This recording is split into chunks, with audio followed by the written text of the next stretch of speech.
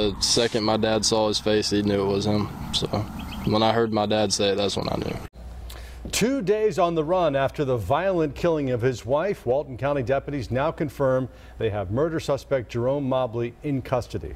Authorities are crediting a Monroe teen and his dad with helping in the arrest.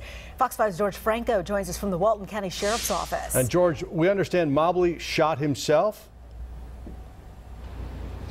Russ and Cynne, the Walton County Sheriff's Office here says that armed murder suspect Jerome Mobley shot himself in the face with a shotgun this afternoon when he was approached by a father and his teenage son. I was right over here on the picnic table.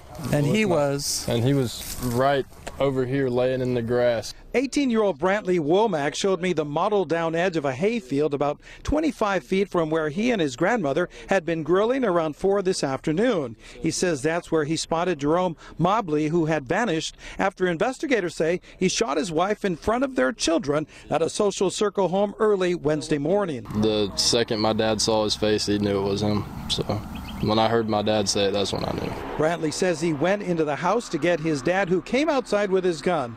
By now, their black lab sis had gone into the field after Mobley had been spotted by the teen. They told me Mobley fled, running a short link to this location where they next heard a shotgun blast. Called his name, and as soon as I called his name, he shot.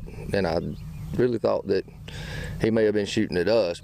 The sheriff's office says Mobley shot himself with a 12 gauge shotgun in the face. Investigators say Mobley was airlifted to Grady Hospital in Atlanta where he's expected to survive. Sheriff Joe Chapman says Mobley was spotted about seven miles from the Social Circle location where he's suspected of shooting his wife to death. He says Mobley left that crime scene injured. When we uh, found him here, he'd been shot in the inner right thigh. By his his we suspect his wife. The sheriff says it appears Mobley had been hiding in fields and woods since getting shot Wednesday. He says the 39-year-old armed with the shotgun survived apparently by drinking creek water and was moving at night. The Womacks told me they heard from the victim's family thanking them for helping them seek justice. The devastation in that family is is you can't put words on it. So I'm just I'm glad he's caught.